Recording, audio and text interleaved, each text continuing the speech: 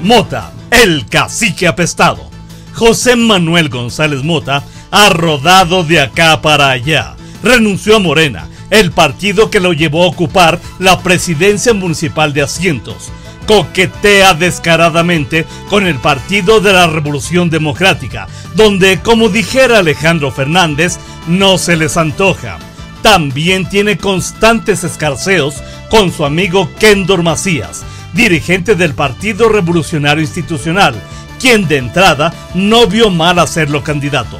Pero algo pasó en el edificio prestado de López Mateos que el sábado anterior Mota regresó a Morena como el perro arrepentido, con la cola entre las patas, y en un evento encabezado por Salma Luébano y René Bejarano, González Mota, además de llevarles varios camiones y camionetas con acarreados, se puso otra vez a sus órdenes.